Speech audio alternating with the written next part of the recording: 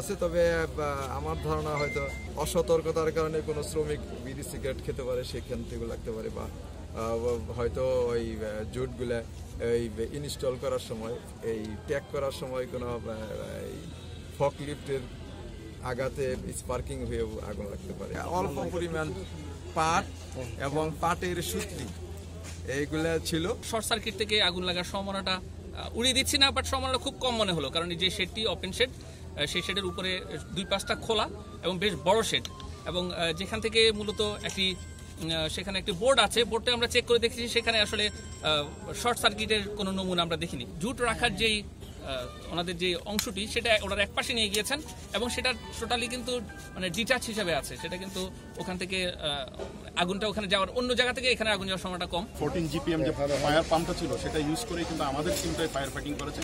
পরে fire team এসে আমাদের সাথে কিন্তু জয়েন করেছে।